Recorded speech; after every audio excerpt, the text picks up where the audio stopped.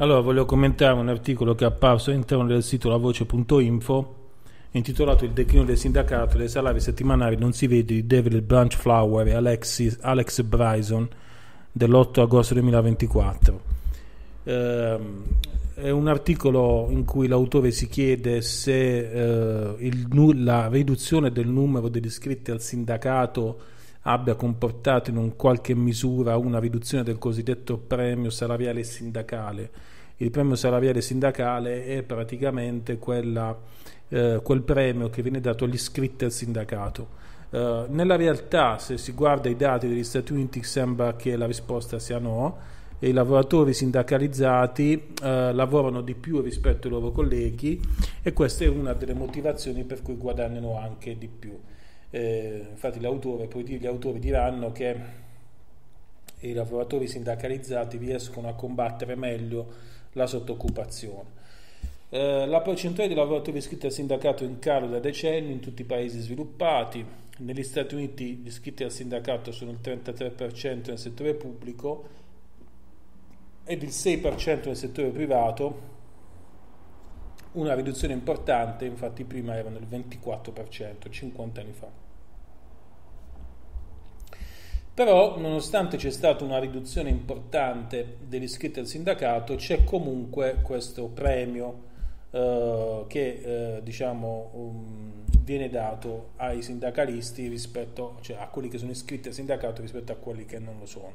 Ovviamente il, la riduzione del numero degli iscritti al sindacato negli Stati Uniti viene intesa come una vittoria dei datori di lavoro sui lavoratori per quanto riguarda la, uh, il potere contrattuale eh, e quindi una diminuzione della, della quota di reddito spettante ai lavoratori, però sostanzialmente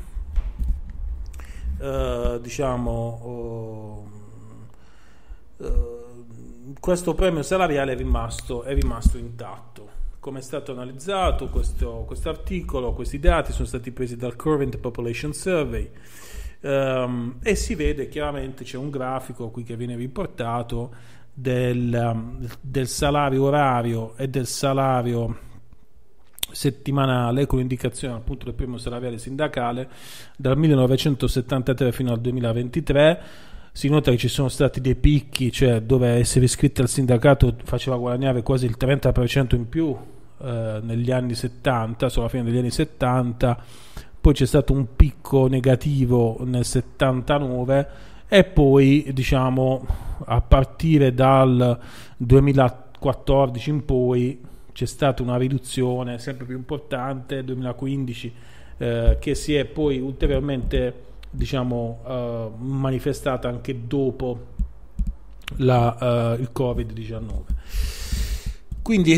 in realtà, diciamo, se facciamo ecco, una differenza netta dal 1973 al 2023, possiamo notare che questo valore è diminuito notevolmente, passando a circa 21% fino ad arrivare al 16%. Però comunque continua ad esistere un premio salariale sindacale, cioè continua ad esistere negli Stati Uniti una quota di reddito in più che gli iscritti ai sindacati hanno rispetto a coloro i quali invece non sono iscritti.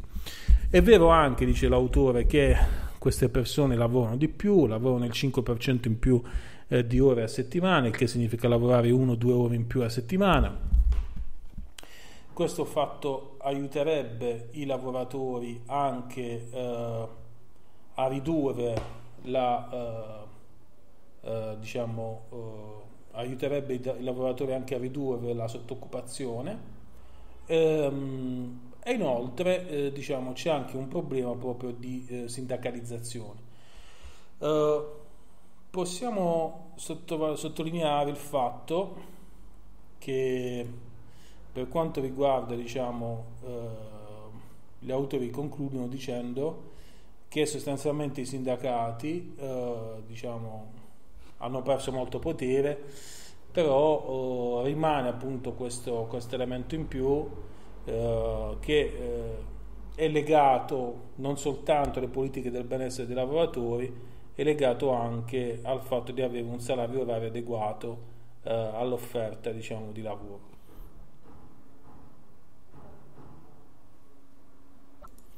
Che cosa possiamo dire di questo articolo?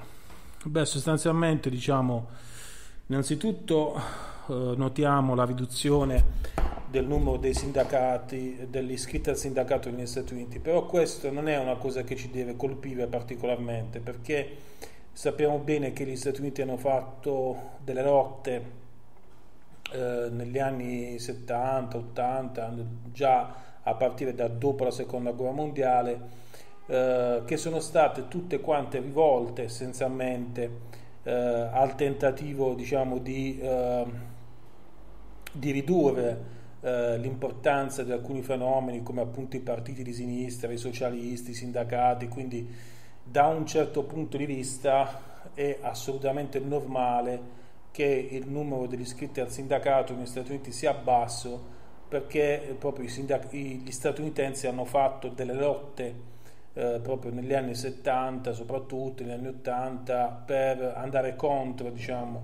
eh, questo mondo. Ricordiamo che gli Stati Uniti sono il paese del meccartismo, dove se uno veniva eh, considerato comunista o vicino ai russi, praticamente gli facevano un processo pubblico. Eh, quindi è chiaro che il marxismo, il socialismo, il comunismo, eh, tutte queste idee negli Stati Uniti non, sono, non trovano diciamo, adeguata rappresentazione e le relative eh, diciamo, derivazioni politiche e ideologiche di queste idee, anche queste non trovano, non trovano spazio. E quindi sostanzialmente eh, diciamo, non ci sono i partiti di sinistra, non ci sono i comunisti, il sindacato è molto debole, non c'è la, la sanità pubblica, eh, le scuole pubbliche ci sono, però diciamo, non sono come quelle private, cioè gli americani hanno scelto in totale contrapposizione con il modello comunista marxista che veniva scelto appunto dagli Stati Uniti di orientarsi ad un modello strettamente capitalistico dove non c'è un conflitto tra lavoro e capitale perché la popolazione ha già deciso che vince il capitale. Eh, e non c'è nessun problema nel sentirsi diciamo, esploitati, potremmo dire, cioè sfruttati, espropriati dal capitalismo perché la società nella quale si è scelto di vivere è una società capitalistica, quindi le persone che vivono negli Stati Uniti sanno benissimo di vivere una società capitalistica dove i diritti sociali sono minimi e dove non ci sono orientamenti socialisti, socialdemocratici o comunisti o di questo genere. Quindi diciamo è così, non, eh, non, ci, non dobbiamo stupirci di questo e eh, probabilmente ecco, se gli americani potessero scegliere diventerebbero tutti imprenditori e nessuno farebbe lavoratore dipendente, che poi diciamo è come dire una sorta di utopia eh, che si vorrebbe realizzare in ambito, in ambito eh, capitalistico. Cioè, quindi diciamo anche l'investimento massiccio che gli americani fanno sulle tecnologie che sono quasi tutte rivolte a sostituire la forza lavoro, perché noi sappiamo bene, l'intelligenza artificiale non è qualcosa che eh, diciamo, eh,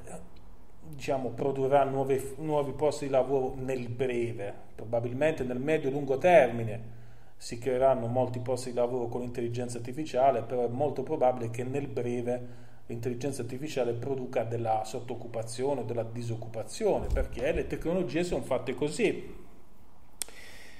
Si investe nella tecnologia per risparmiare, risparmiare soprattutto sulla forza lavoro. E quindi diciamo sono questi i motivi che possono indicare una riduzione del numero dei sindacati. Ecco, ripeto, non è una cosa di cui bisogna particolarmente diciamo meravigliarsi, non c'è niente di strano in questo, anche perché se poi facciamo un paragone con l'Italia, dove invece i sindacati sono ancora molto rilevanti, però se noi andiamo a guardare la CGL, per esempio, che cosa è oggi la CGL? La CGL ha un 80% di iscritti che sono pensionati, quindi non è neanche un sindacato nel senso originale del termine, perché se fosse un sindacato vero dovrebbe avere un 80% di iscritti lavoratori e non, sindaca- e non pensionati. Però anche in Italia ormai i lavoratori si iscrivono sempre di meno ai sindacati,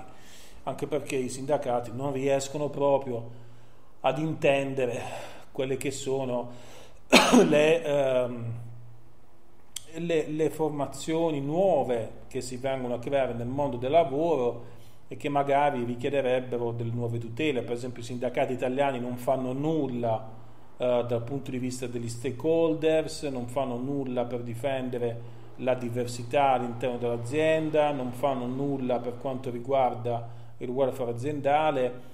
e qualora dovessero scendere in piazza eh, diciamo, per protestare contro Tizio e Caio